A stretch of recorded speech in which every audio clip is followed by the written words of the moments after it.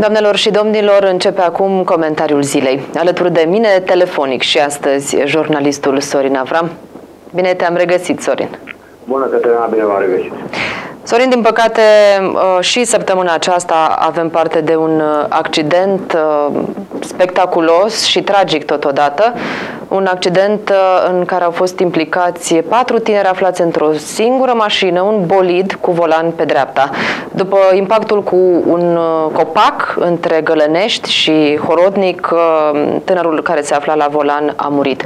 Săptămâna trecută, de pe podul Vlădichii, un alt autoturism foarte puternic, tot cu volan pe dreapta, în care se aflau trei tineri, a zburat efectiv de pe pod. Și poate că din nou se cade să tragem un semnal de alarmă cu privire la această nu știu, deja obișnuință, modă în județul Suceava de a conduce mașini um, care vin uh, de pe insulă din Marea Britanie și ajung uh, să fie înmatriculate unele dintre ele în România, uh, deși au volanul pe dreapta. În acest caz nu era vorba de o mașină înmatriculată în România, încă purta numere de Marea Britanie. Da, s-au mai tras semnale de alarmă, foarte multe, cam de fiecare dată atunci când a fost vorba despre un accident uh, produs uh, de șoferi care conduceau mașini cu volan pe dreapta s-au tras semnale. Uh, nu știu cât uh, să parafrazez pe cineva, nu știu câți oameni trebuie să mai moară pentru a se schimba legislația. Știu că la un dat am văzut uh, undeva că uh, parcă de la începutul anului viitor se pune problema ca aceste mașini să nu mai aibă permisiunea să circule prin țară decât pe o perioadă limitată de timp. Cred că până acum nu s-a luat această decizie, cu toate că de ani de zile se cred că astfel de accidente, în special în județele cu oameni care merg la loc în Marea Britanie. Deci ceva este între județele din țară în care sunt foarte mulți uh, oameni care lucrează în Marea Britanie. Cred că nu s-a luat această decizie până acum din motive electorale, pentru că sunt mulți cei care au astfel de mașini și cred că s-a gândit pe fie electorală, domnule, să nu supărăm oamenii că uite, muncesc acolo, vin, câștigă, iau o mașină și așa mai departe. Sunt mașini foarte ieftine acestea, Sorin, deși sunt mașini puternice. Viața este mult mai scumpă, incomparabil mai scumpă și trebuie depus o regulă. Eu nu cred că dacă merg în Marea Britanie și mă duc să lucrez acolo și cred cu o mașină cu volan pe stânga, mă lasă să circul cu ea cât vreau. Nu cred lucrul ăsta. Și că poți să-l matriculezi, fără să trebuiască să da. schimbi acest lucru. Nu, nu, dar este o, o prostie și trebuie să pună capăt acestui lucru, pentru că aceste uh, mașini reprezintă un adevărat pericol public dacă ne uităm la numărul atât de mare de accidente produse cu astfel de mașini. Uh, pe de altă parte, acum, o să, așa, ca o mini-glumă, da, uh, guvernanții, parlamentarii, cei care fac legi, polițiștii, poate nu vor să-i supere pe traficanții de țigări, care majoritatea folosesc mașini cu volan pe dreapta. Și mă gândesc că nu vor să-i supere pe traficanți. Atunci o să rămânem cu curiozitatea asta, dar da. e o temă în care cineva cândva uh, trebuie să fie nepopular, nu? Și să aleagă viața în defavoarea, nu știu, unui mănunchi de voturi uh, odată la patru ani. Apropo de a alege viața, sunt 44 de noi cazuri de COVID-19 înregistrate în 24 de ore în județul Suceava. Este cel mai mare număr de cazuri zilnic raportat în ultimele două luni. Iar uh, dacă e să facem media, la șapte zile în județul Suceava, în ultimele șapte zile, media este de 26 de noi cazuri pe zi și e cea mai ridicată din ultimele trei luni. Bun, nici nu e de mirare, dar fiind faptul că ne aflăm în luna august, când foarte mulți și cei noștri plecați la muncă de străinătate din acasă, deci luat de familie, o una la mână.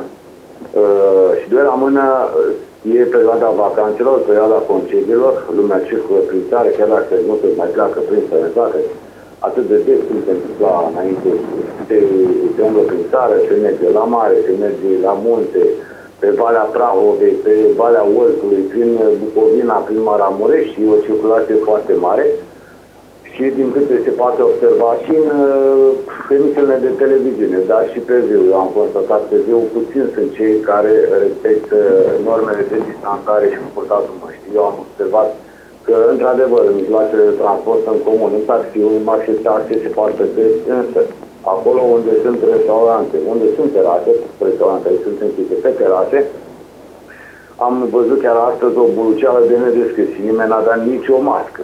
Absolut nimeni n-a dat nicio mască.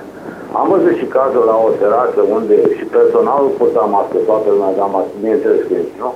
Dar uh, sunt și locuri unde. Și din această cauză, această mișcare a cetățenilor în natură uh, duce la spărea cazurilor. Deci, nu cred că, adică sunt cazuri de import, ca să zic așa, majoritatea, din străinătate sau din vacanțele pe care le petrec cei în sensul acesta înseamnă că o să ne putem apropia de ceea ce spunea Ministrul uh, Sănătății, să ajungem la nivel național la dublul cazurilor care se înregistrează acum zilnic?